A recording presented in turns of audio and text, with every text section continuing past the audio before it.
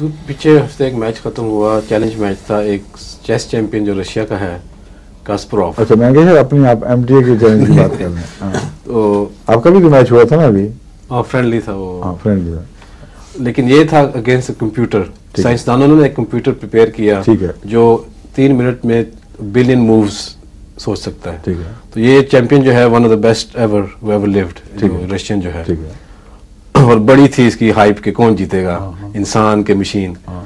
تو پہلا تو مشین جیت گیا لیکن ان دی اینڈ انسان جیت گیا فور گیمس ٹو ٹو پہ تو اب یہ خوفناک بات ہے کہ ڈر آتا ہے کہ ایسی مشینیں جو انسان بناتا ہے۔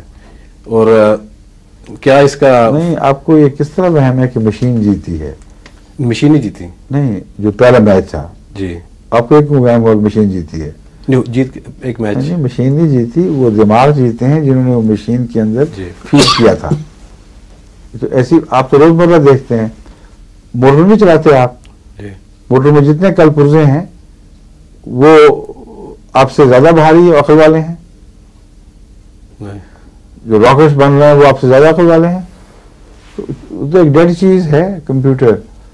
کمپیوٹر کو جو دماغ فیڈ کرتے ہیں ان کے سم ٹوٹل کو کمپیوٹر ہینڈل کرتا ہے اور اپنے فیڈ کرنے والے دماغوں سے اوپر کبھی نہیں نکل سکتا۔ ایک سے زیادہ دماغ جب مل کر سوچتے ہیں تو ان کے انٹر ایکشن سے جو چیزیں پیدا ہو سکتی ہیں، وہی کمپیوٹر پیدا کر سکتا ہے۔ صرف رفتار کی بات ہے۔ تیز رفتاری پیدا ہوئی ہے، انسان نے اپنے دماغ کو استعمال کر کے ایسی چیز ایجاد کی جس سے اس کی رفتار تیز ہو جائے۔ موٹر کی تبھی میں نے مثال دی، آپ کی رفتار کتنی تیز ہو گئی ہے؟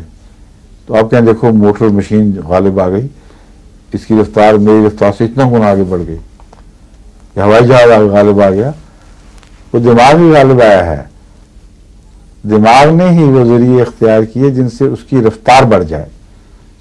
تو سوچنے کی رفتار کو ممد کر ممد اور مددگار کے طور پر انسانی دماغ نے ہی کمپیوٹر ایجاد کیا ہے۔ اور یہ انہوں نے ہیپ کیا تھا کہ ہیومن ڈگنیٹی اس نے سیو کی ہے۔ یہ انہوں نے نا پمپ اپ کیا کہ بچوں والی باتیں ہیں۔ وہ کمپیوٹر جیت جاتا تو ہیومن ڈگنیٹی کے اوپر کوئی بھی اثر نہیں پڑ سکتا تھا۔ لیکن اس سے صرف یہ ثابت ہوا کہ اتنے دماغ جو کام کر رہے تھے ایک مشین کے ذریعے اتنی رفتار کے باوجود اس اکیلے کا دماغ ان پہ بھی غالب نکلا۔ یہ اتنی بات ثابت ہوتی ہے۔ دماغ دماغوں پر غالب آیا ہے کمپیوٹر پہ نہیں آیا۔ کمپیوٹر کی مدد سے دماغوں نے جو تیز رفتاری اختیار کی تھی ان دماغوں پر بھی یہ اکیلا کام غالب آ گیا۔ ٹھیک ہے؟ اور اس کے اندر بھی تو کمپیوٹر کام کر رہا تھا۔ یہ آپ نے سوچا ہی نہیں۔ اس کے اندر ایک کمپیوٹر کام کر رہا تھا جو ساری عمر کی اس کی سوچیں تھیں۔ وہ دماغ میں اس کے پرنٹ ہوئی ہوئی تھیں۔ اور وہ کمپیوٹر اس کا ایک لمبے تجربے کو اکٹھا ایک جگہ ایک بات سائز میں محفوظ کیے ہوئے تھا۔ اس کے کمپیوٹر وغیرہ پر اس کو اپنی چالیں زیادہ یاد آئی ہیں۔ اور جو سوچنے والے تھے، وہ مل کر بھی اس کی اکیلے کی سپریمیسی کے اوپر غالب نہیں آ سکے۔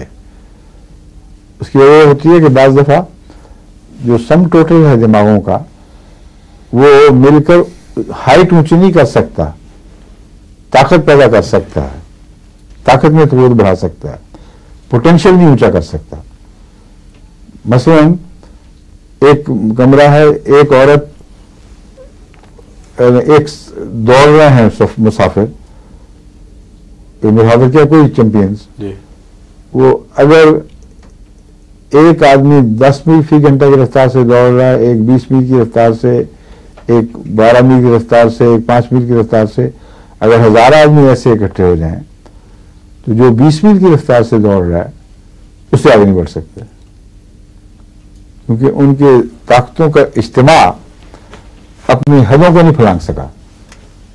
تو اس اکیلے کی دماغ کی جو طاقت کی اونچی چھلانگ تھی، وہ ان سب میں سے اکیلے اکیلے کی جتنی ہو سکتی تھی، اس سے اونچی تھی۔